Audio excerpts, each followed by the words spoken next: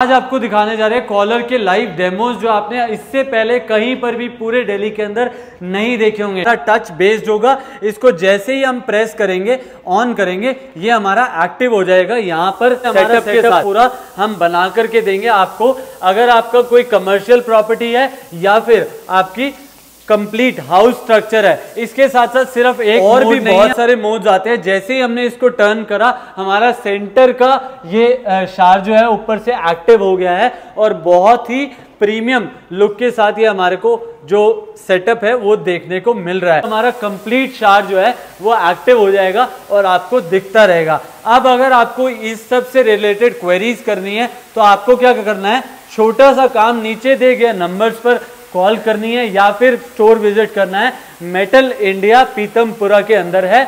बहुत ही बढ़िया से आपको एंटरटेन करा जाएगा।